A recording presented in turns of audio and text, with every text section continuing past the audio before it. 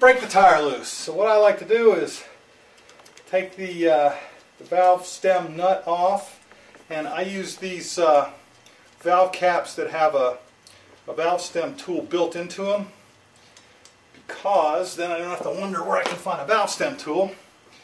And the first thing you do is pull the valve stem out.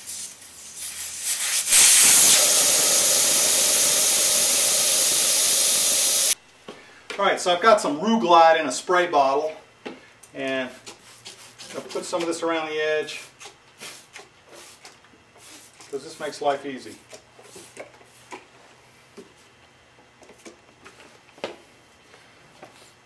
Now the first thing to try is stepping on it. It's a cheap tire, so I may actually break the bead loose like this. If not, at least I'm giving the RuGlyde a chance to work down in there. Doesn't look like the bead's breaking loose. So I'm going to take my tire irons and work it around.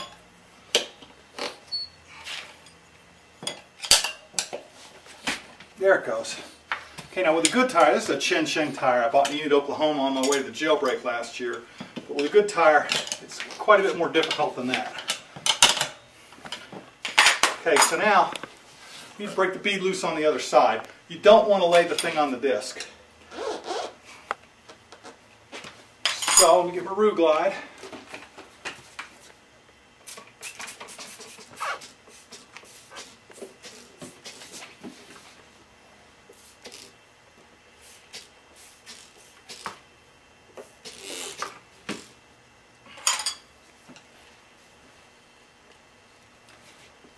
Okay.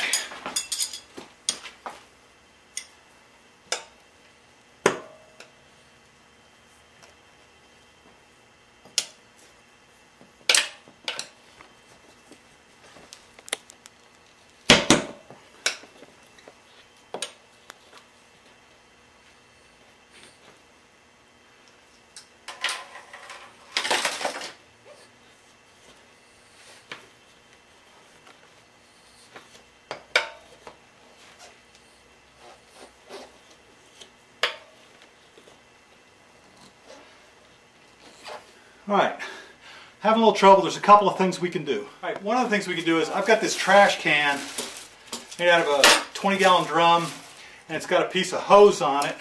And so what that means is I can work the tire like this. Another thing you can do is get some chunks of 2x4, put them on the ground in order to work it. So I'm going to just kind of work the bead here. Might have to put a little more RuGlyde on there.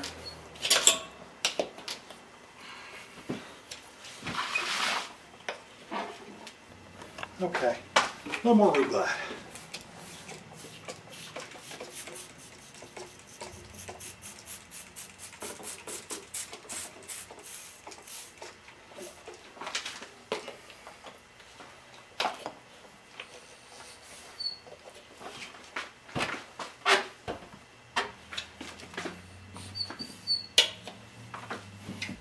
These rims are the toughest rims I've ever seen on anything.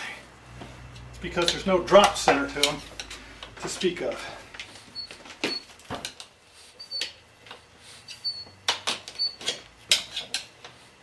Ah, there we go. Okay, so the beads pop loose. All right, now.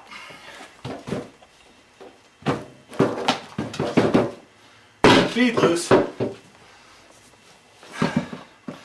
going to lever the first bead off. So the trick is you want to drive the bead into this. This is the drop to the rim right here. You want to push the bead on this side as far up in there as you can. You don't want to be right at the valve stem. So you push the bead up in there as far as you can. You take your levers.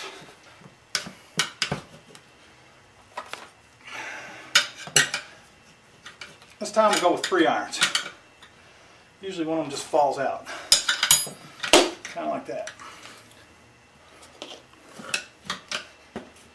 All right, there's one. There's two.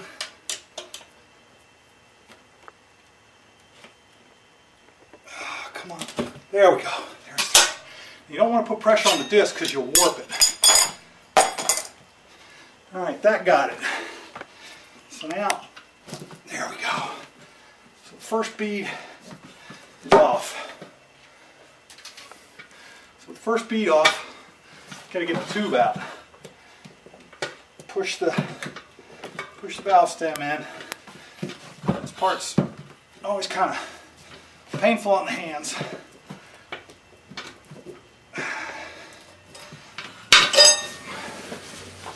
Okay, there's the tube. So now, gotta get the second bead off, which is always easier.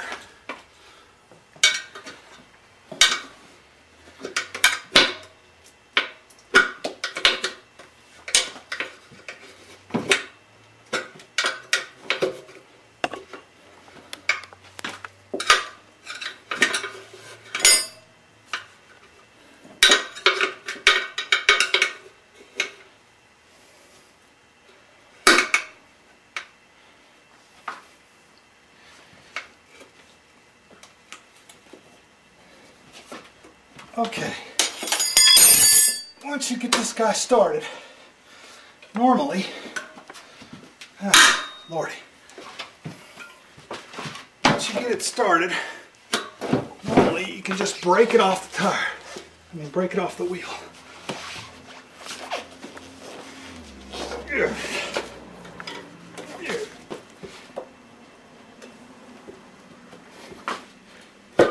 All right. And there's the wheel. All right, so we've got the wheel off. And what I'm going to do is, is bang on the spokes and make sure none of them need to be adjusted. Because if they need to be adjusted while you have the tire off, it's the best time.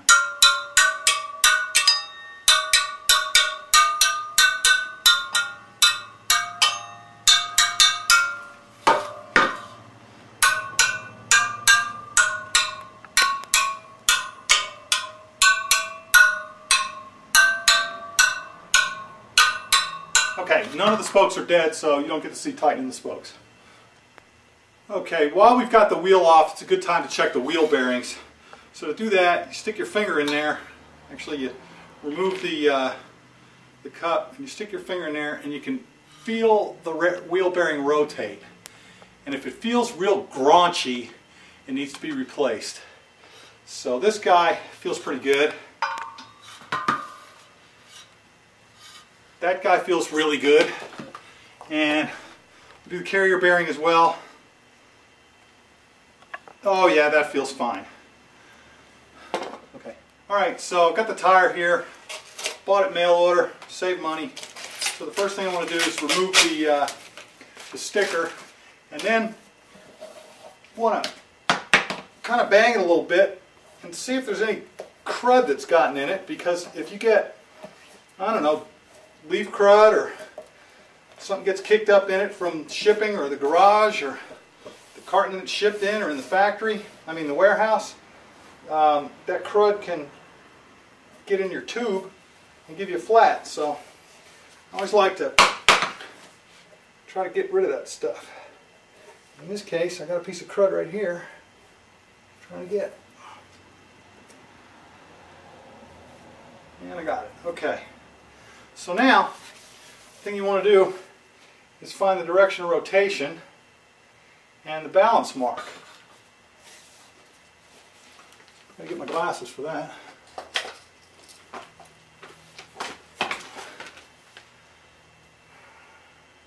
Alright, so here's a rotation arrow. Now remember the brake goes on the left side, so that rotation arrow is going to be like this. So this tire can only go on this way. So now let's check there's some balance marks. And those are the only balance marks.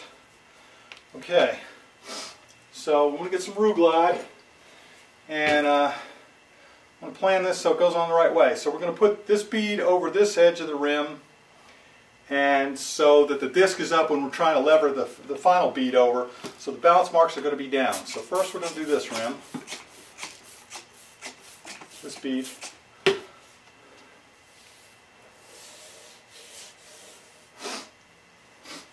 worry about the get the balance marks in the right place in a minute. Okay, so now, oh yeah, the drop center. This is the, the drop center, and you want to make sure this is not much of a drop center when you compare it to a lot of other wheels. You want to make sure you have a rim band or at least some duct tape or electrical tape around there and a hole for your, uh, for your valve stem. You don't want the, uh, the uh, uh spoke nipples to be touching the tube because they will wear holes in it. Okay, so now back to the tire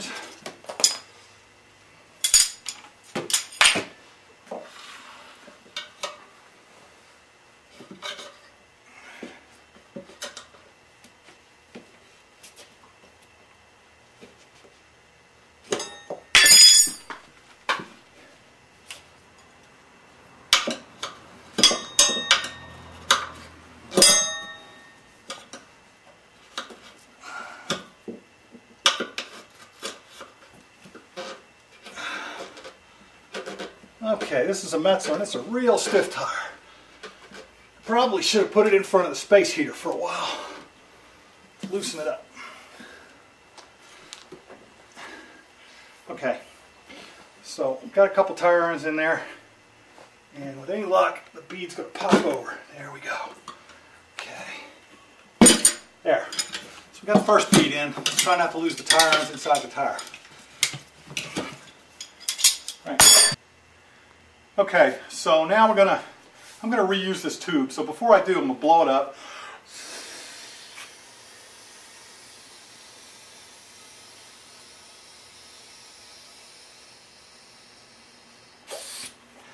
Now we'll put the, the stem back in, the core, and put a little spit on that so it seals real well. I could put RuGlyde on there or something, but in any case, I'll put that bad boy in there.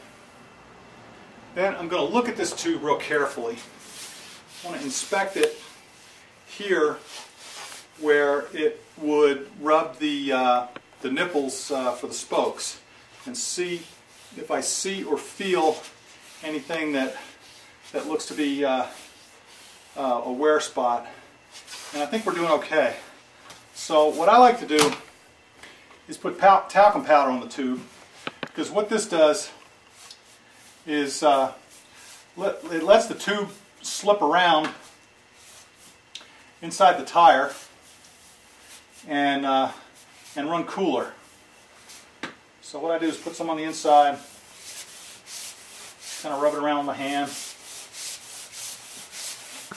I do this every time, so where did all the talcum powder go from last time? It just kind of got used up, I guess. Okay, so now I got a bunch of talcum powder on there. And now, I'm going to fit it in the tire. So, I have to find the, uh, the valve stem hole. And I'm going to let some of the air out of this, but not a whole lot.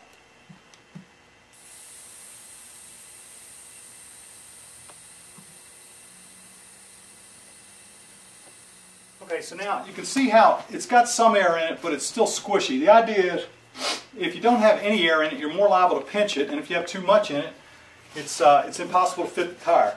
So what I want to do is get the tube in here. I cleaned the rim real good. You didn't see that part. So I stuff the tube in all the way around.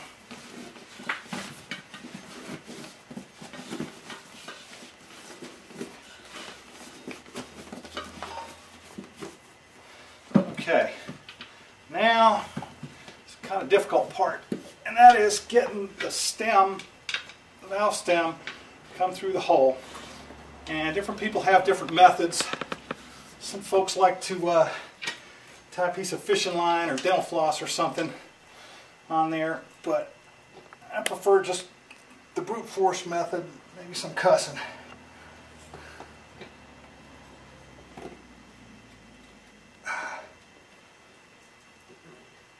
Okay, I got it. So now, as soon as you get it, you want to get that nut on there so that it doesn't back out, but you don't want to screw the nut all the way on. Just uh, just get it on screwed on there till it's uh, till, till the valve stem's poking out the other end. Of course, I'm trying to screw the nut on with my left hand, and I'm right-handed.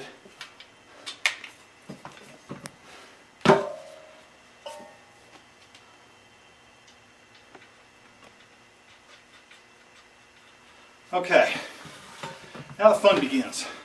The first thing you want to do is get the, marks lined up with the valve stem because most manufacturers mark the tire at the, uh, at the lightest place.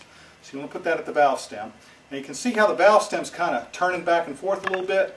You want to try to get it centered. But this is not the final fitment because it's probably going to rotate around as we, as we lever it on there. Now we've got the disc up, the first bead's on there. It's time for some more RuGlyde.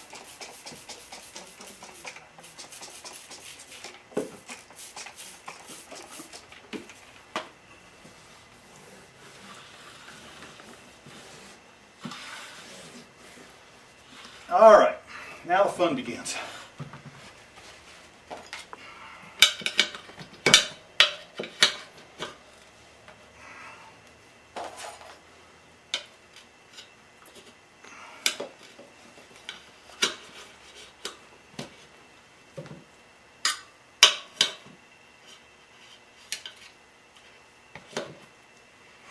Okay, as before, you don't want to start or finish at the valve.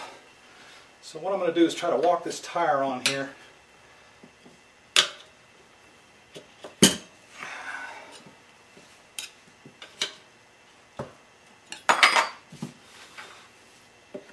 Okay, we're coming past the valve now.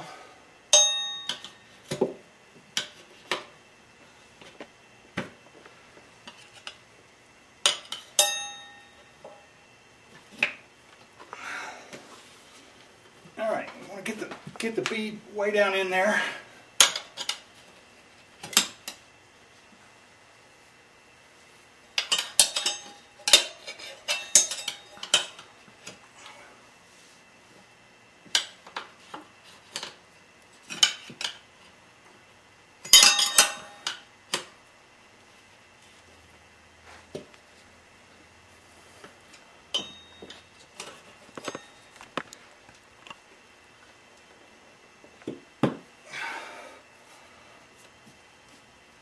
All right, here's where it starts getting tricky.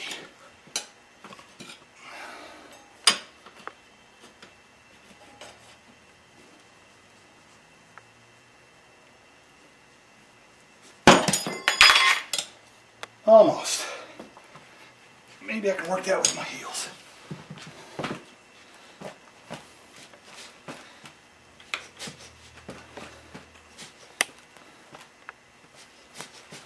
Nope.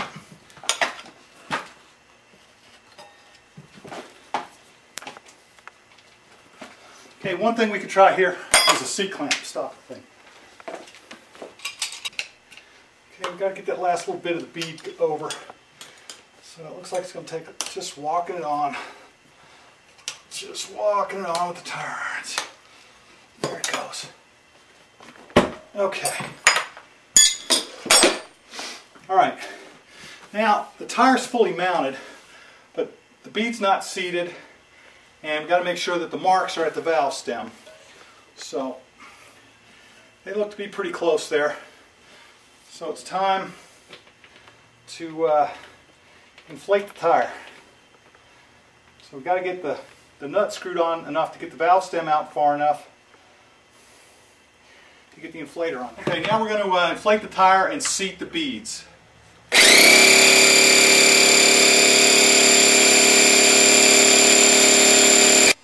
Okay, so um, you know the beads have been seated when you can see this this edge here. You see this little line is uh, equidistant from the rim all the way around, and it is on both sides. There's a couple of things you can do if it won't seat. Of course, if you use RuGlyde, it'll seat easily, but if, if you don't, sometimes you can pick up the tire and beat it where it didn't come out, whatever. Anyway, I run it up to 50 pounds, which is not where I'm going to run the tire, and I tighten the nut up, I'm going to take the valve stem back out, completely let all the air out of the tube and so that the tube can settle and then I inflate it to the final pressure. Okay, so now with the, uh, with the tube totally deflated, it totally relaxes. The bead is still seated all the way around the tire, so now when the tube is inflated, it will inflate evenly and no place on the tube will be strained. So I don't think you want to hear this thing inflate again. So now we're going to